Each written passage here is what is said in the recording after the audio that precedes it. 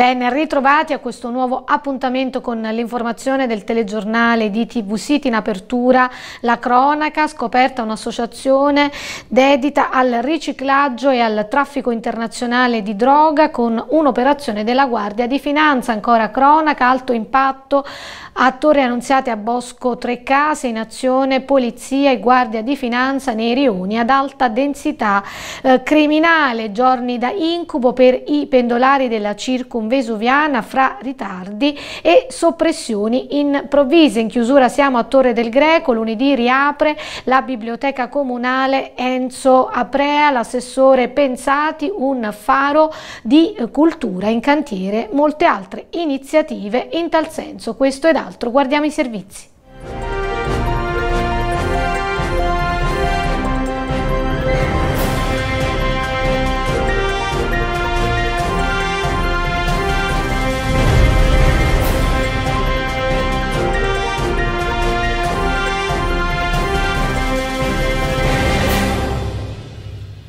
Le direzioni distrettuali antimafia di Napoli e Palermo in data odierna hanno eseguito due provvedimenti cautelari, rispettivamente un decreto di fermo e un'ordinanza di custodia cautelare inerenti importanti traffici illeciti internazionali.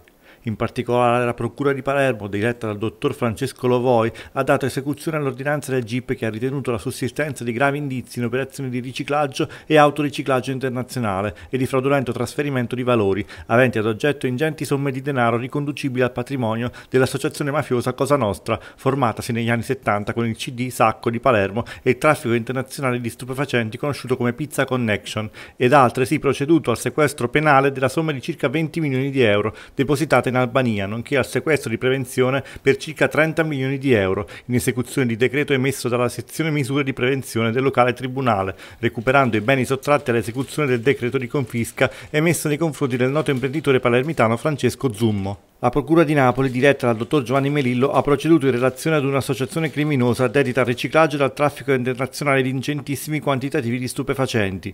Le indagini avviate all'indomani del sequestro eseguito nel giugno del 2020 nel porto di Salerno di oltre 17 tonnellate di stupefacenti hanno condotto all'individuazione di una sofisticata associazione criminosa con basi in Albania, Italia e Svizzera, finalizzata all'importazione di grandi quantitativi di cocaina e hashish dal Sud America e dal Nord Africa e al riciclaggio dei relativi enormi profitti. Le indagini della DDA di Napoli si sono giovate della preziosa collaborazione del Ministero Pubblico, della Confederazione Svizzera e della Polizia Giudiziaria Federale di Lugano. Contestualmente anche la Procura Speciale contro la corruzione e la criminalità organizzata di Tirana ha proceduto all'arresto di cittadini albanesi che hanno consentito il riciclaggio di 20 milioni di euro riconducibili a Cosa Nostra sequestrata dalla Procura della Repubblica di Palermo. La complessiva attività investigativa si è caratterizzata per la stretta cooperazione e il costante coordinamento investigativo in atto tra le procure della Repubblica di Palermo e di Napoli, ciò che ha reso ancora più proficua la cooperazione internazionale delle competenti autorità di Albania e Svizzera, così consentendo la minuziosa ricostruzione di plurimi e gravi fatti illeciti illeciti connessi tra loro, oggettivamente e o soggettivamente, e la sinergica conduzione delle operazioni in Italia e all'estero.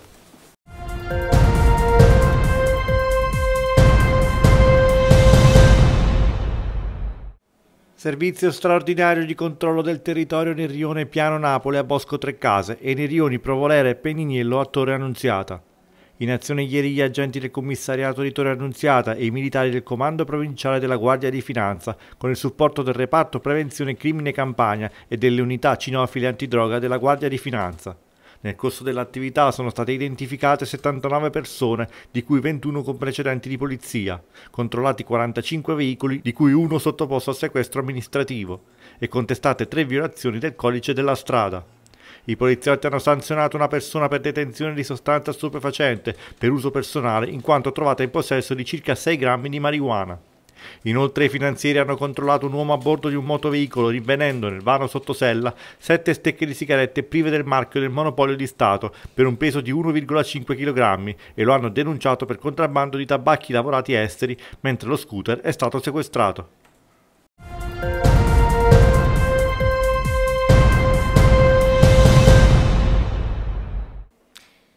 Ritardi e soppressioni improvvise, poche corse ed indicazioni spesso non troppo puntuali ai megafoni e sui tabelloni, senza contare la tratta Napoli-Torre Annunziata-Poggio Marino di recente soppressa. Sono giorni da incubo per gli utenti della circonvesuviana, studenti, lavoratori, famiglie, pendolari, che abitualmente utilizzano il servizio per recarsi al lavoro o all'università. Non mancano le lamentele e i malumori. Disagi anche quando piove, si apprende dalle numerose segnalazioni giunte alla redazione di TV City, anche all'interno dei convogli. E non tutte le porte dei treni si aprono. I disservizi sono innumerevoli.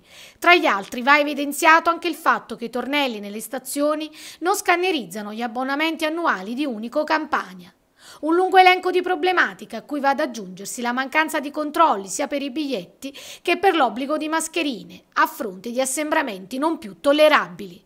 Panico e caos nella giornata di mercoledì quando un treno della circumvesuviana è rimasto bloccato per 45 minuti sotto la galleria tra le stazioni di Seiano e Meta. Secondo i pendolari sul convoglio, rimasto senza illuminazione e senza che fosse fornito ai viaggiatori alcun tipo di informazione, si sarebbero verificati momenti di forte tensione.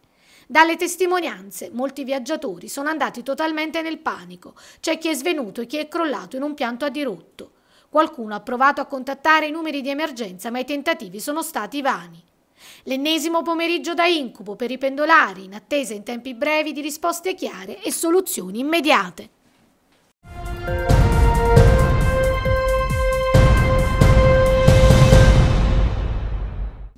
Assessore Enrico Pensati, l'avevamo annunciato in una precedente intervista in questi studi, da lunedì 15 novembre riapre la biblioteca Enzo Aprea. Sì, lunedì eh, con orari dalle 9 alle 14, è stato diciamo, uno sforzo importante che insieme al sindaco Giovanni Palumba abbiamo messo in campo. La riapertura della biblioteca ha un valore anche simbolico, è un faro di cultura e non potevamo consentire che la stessa rimanesse oltremodo chiusa. Quindi siamo davvero soddisfatti per il lavoro fatto e quindi siamo contenti di poter riaccogliere gli studenti nella nostra biblioteca comunale.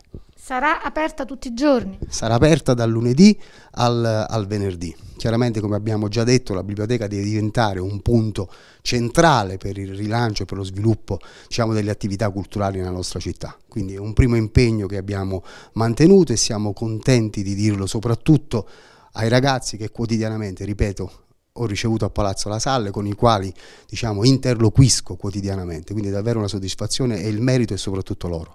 A tal proposito avete già in mente di organizzare iniziative culturali? Sì, stiamo, stiamo lavorando, stiamo, abbiamo aderito a due bandi che sono usciti relativamente al potenziamento della biblioteca, inerenti sia alla digitalizzazione e sia eh, lo sviluppo delle, delle, delle attività librarie. Stiamo valutando alcune proposte che ci sono arrivate per accogliere gratuitamente dei libri e quindi per rendere più cospicua la fornitura di libri nella nostra biblioteca. Abbiamo, ma questa non è una novità, purtroppo un'annosa carenza legata al personale, quindi inevitabilmente dobbiamo cercare da questo punto di vista di trovare delle soluzioni che ci consentano di tenere comunque la biblioteca aperta anche nell'orario pomeridiano. A proposito di cultura, tra i progetti in cantiere dell'amministrazione comunale c'era anche quello di creare un centro polivalente nei locali dell'ex pretura. A che punto siamo? Ma, eh, questa è un'altra diciamo, bella notizia perché eh, so che il dirigente ai lavori pubblici ha, ha commissionato diciamo, una, un, un, lavoro eh, ad un professionista esterno per cercare diciamo, di, di avere una piantina di quelli che sono i lavori. L'attività dovrebbe prevedere all'interno di questo centro polivalente la presenza delle associazioni che fanno cultura sul territorio, un piccolo laboratorio teatrale e delle altre attività. Anche da questo punto di vista siamo, siamo a buon punto e speriamo anche qui di poter dare eh, nell'imminenza un annuncio importante alla città.